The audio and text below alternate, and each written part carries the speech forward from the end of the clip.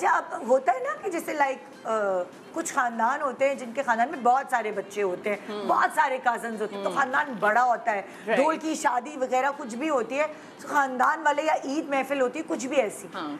खानदान वाले जमा हो जाए ना तो किसी और की ज़रूरत नहीं। ऐसे है. तो तुम्हारे खानदान में ज़्यादा आवाम है या कम कम लोग हैं? बहुत है।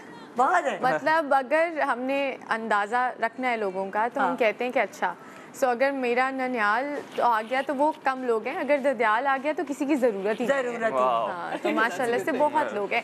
ऐसे ऐसे बच्चे फिर रहे होते हैं वहाँ पे कि जो मुझे आके खाला फूफो कह रहे होते हैं और मैं कहती हूँ कि आप कब आए? आप कब हुए? क्योंकि मिलना जुलना ऑब्वियसली काम की वजह से बहुत कम होता है तो ये वाली कहानी है। ये कहानी तुम्हारा क्या शौकत साहब के खानदान का क्या अच्छा हाल है? शौकत साहब का जो खानदान है वो छोटा है और जो मेरी मम्मा की साइड है वो बड़ी है। लाइक हम कज़न ज़्यादा है। अच्छा। और पापा की फैमिली में कोई लड़की नहीं I am the only one और सबके दो दो बेटे हैं किसी का एक बेटा है लाइक दैट और मैं एक हूँ। अरे बाप या बट मामा के खानदान में मेरी बहुत सारी कज़न हैं लाइक यू नो हाँ। आई हैव बिल्कुल मेरी तरह। ओहो Yeah. चुलबुली सी। Um, नहीं मेरी तरह चुलबुली नहीं है बट। एवरीबडी इज़ डिफरेंट हर कोई डिफरेंट है लेकिन मेरी तरह कोई नहीं है। ये एक ही है शौकत एक ही ही। है है। सेट में भी ये एक ही होती है। अलग सबसे। Yeah, so, um, लेकिन यू हमेशा इस तरह होता है कि गेट टुगेदर होती है। फॉर एग्जांपल मम्मा की साइड पे है तो हाँ। ऑनेस्टली हमें किसी और की ज़रूरत नहीं पड़ती। We don't need anybody because हम इतने कजिन्स एक साथ हो जाते हैं you know all the girls जब ग्रुप बनता है हाँ। आई डोंट थिंक किसी और की नीड ही नहीं होती है बिकॉज़ इतनी ज़्यादा कजिन्स होती हैं। अच्छा हमने क्योंकि तुम्हारी अम्मी की तरफ़ के खानदान को तो तकरीबन सभी जानते हैं।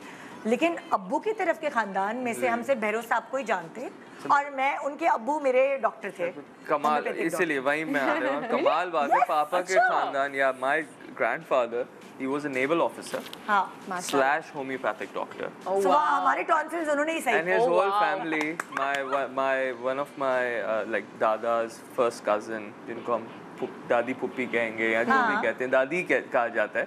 दादा की बहनें दादा Yeah. की कजिन एक ग्रेनिच यूनिवर्सिटी की प्रिंसिपल रह चुकी हैं।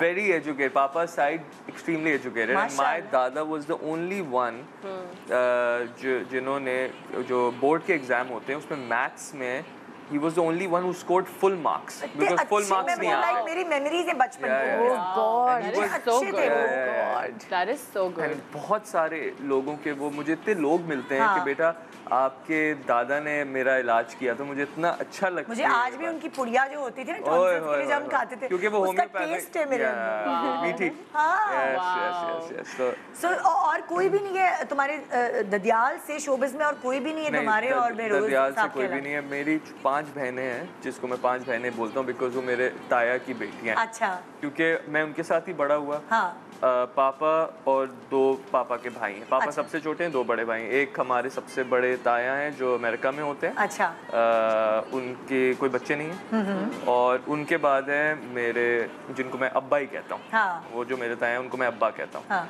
तो उनकी पाँच बेटियाँ हैं जिनके साथ एक मेरे जितनी है एक हाँ। मेरे से एक साल छोटी है एक मेरे से एक साल बड़ी इस तरह वो पाँच है। तो वो पाँच मेरी बहनें हैं तो हाँ। वो इस इंडस्ट्री में नहीं है बट दो की शादी नहीं हुई बाकी ऑल थ्री ऑफ़ देम हैं। मैरिड क्योंकि वो दोनों बहुत छोटी हैं जिनकी अच्छा। नहीं हुई और दे आर हैविंग फन हाँ। पढ़ी हैं सब उनको पढ़ाई का शौक था शादियाँ हुई एक हाँ। डिफरेंट पूरा एक डिफरेंट वो है Assalamualaikum everyone, this is Yashmakil here. Please subscribe to the YouTube channel of Airby Digital to stay updated.